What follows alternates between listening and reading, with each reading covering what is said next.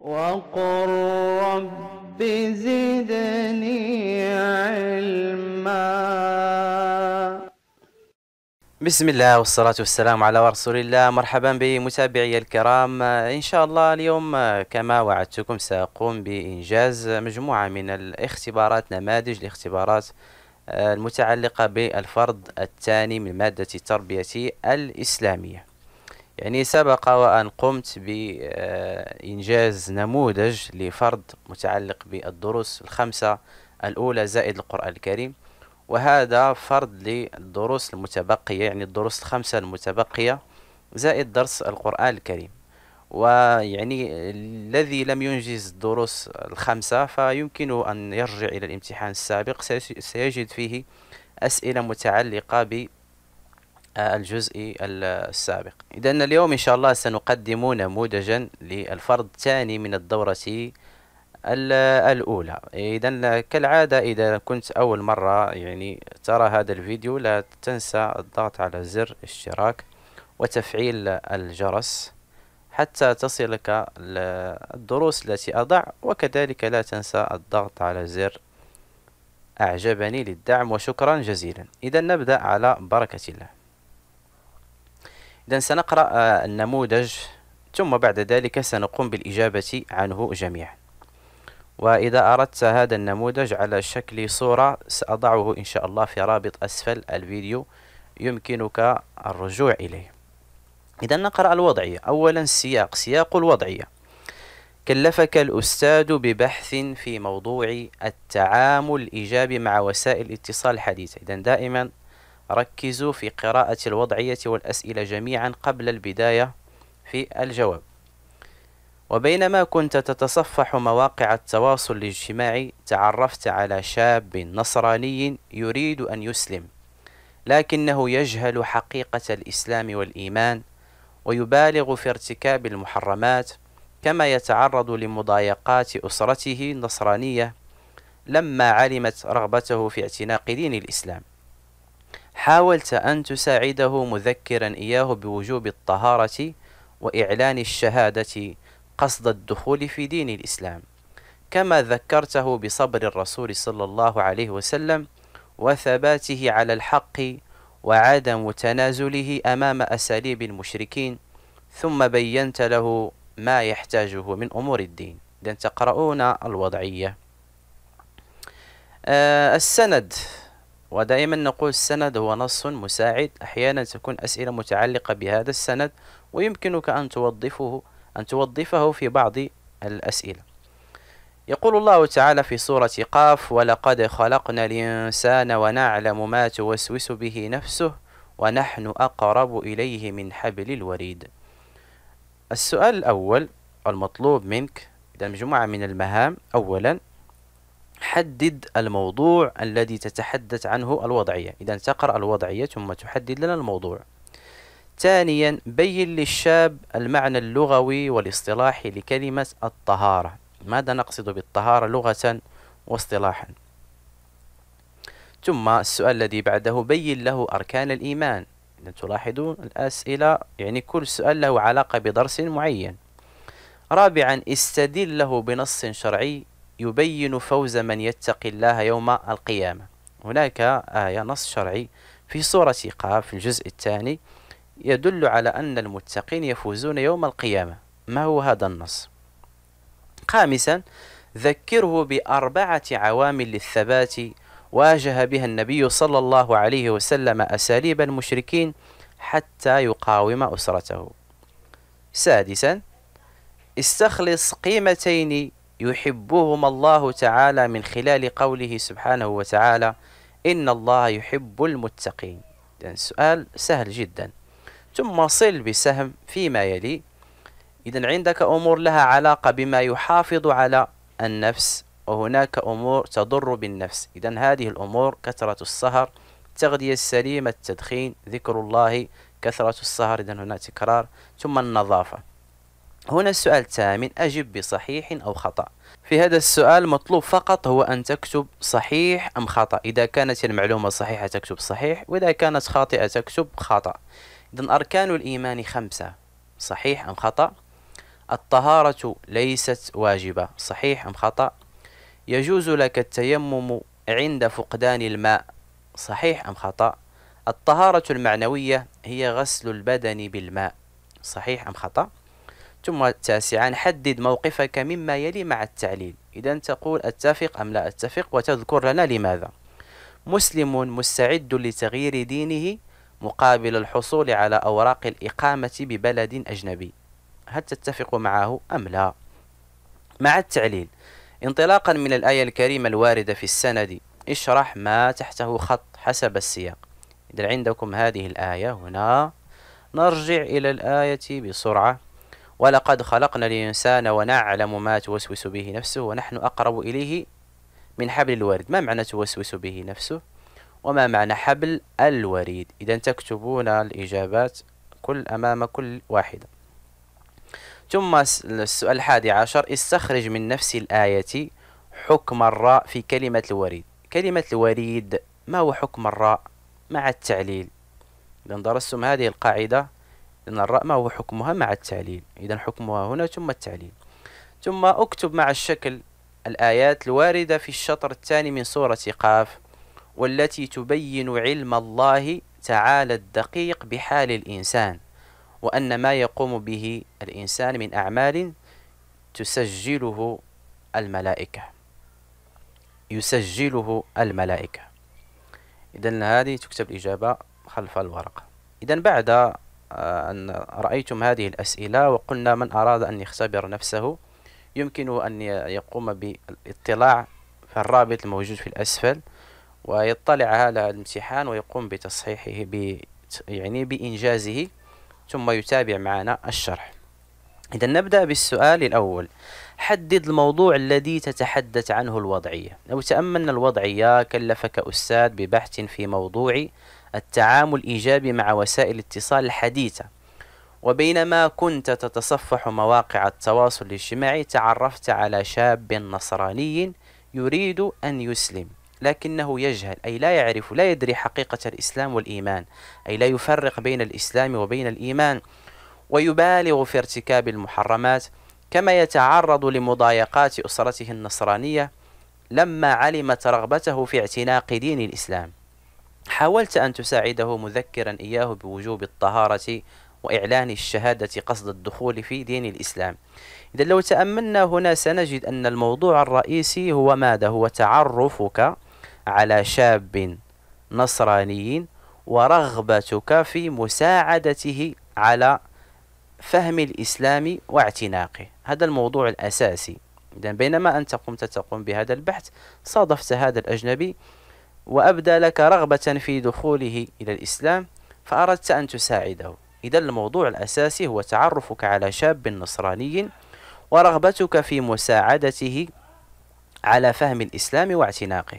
لأن هنا تصوغها بضمير المتكلم آه، آه، تعرفت على شاب نصراني وأردت أن أساعده.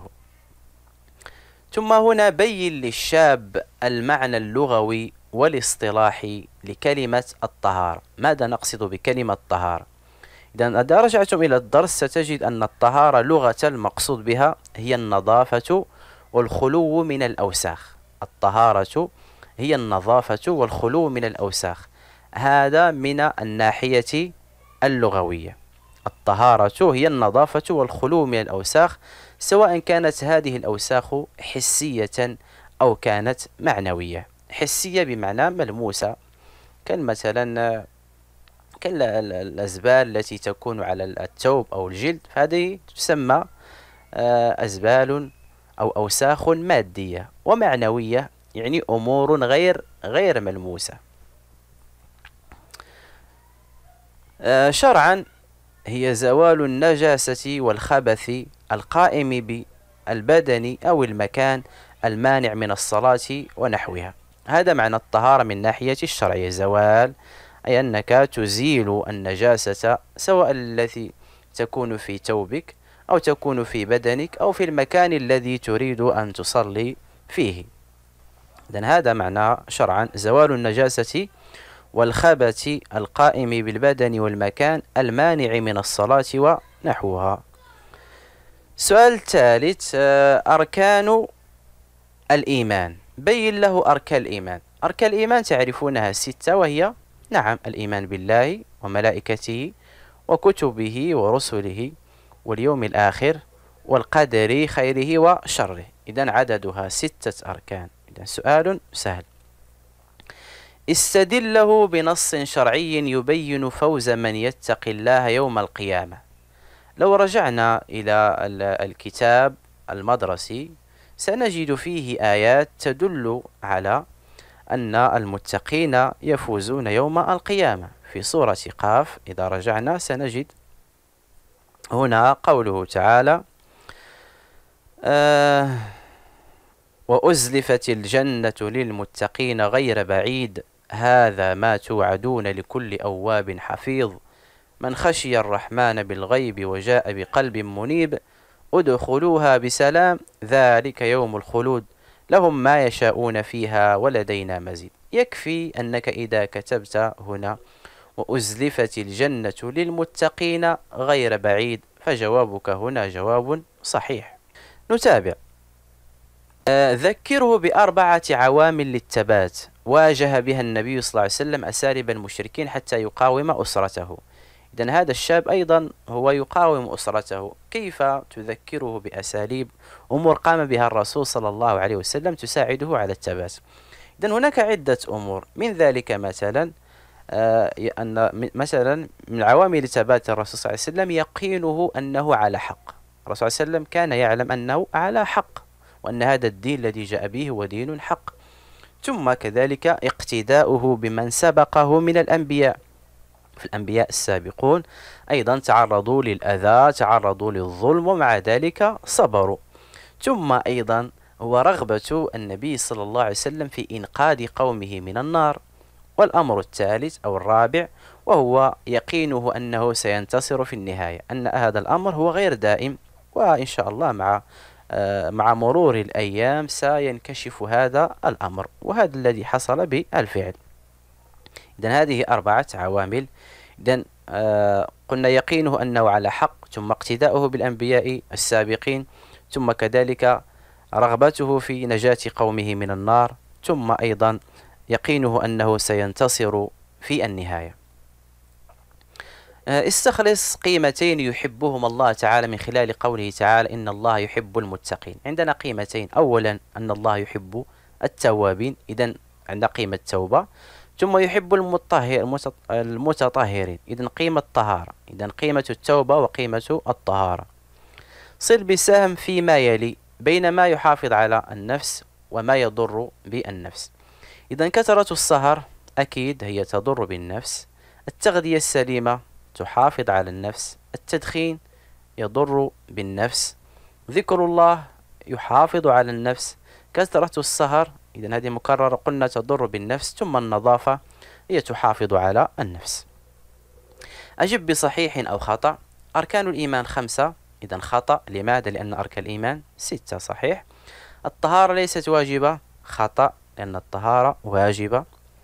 يجوز لك التيمم عند فقدان الماء فقط خطأ لأن هناك حالات أخرى يجوز فيها التيمم كمثلا المرض. إذا كنت مريض لا تستطيع استعمال الماء فيمكنك أن تتيمم. الطهارة معنوية المعنوية هي غسل البدن بالماء هذا خطأ. إنما هذه تسمى الطهارة الحسية. أما المعنوية في بمعناها أي الطهارة من الذنوب والمعاصي وغير ذلك.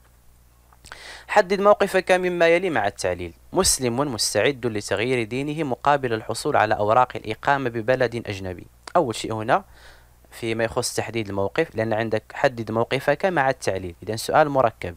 إذا تقول لا أتفق. لماذا لا أتفق؟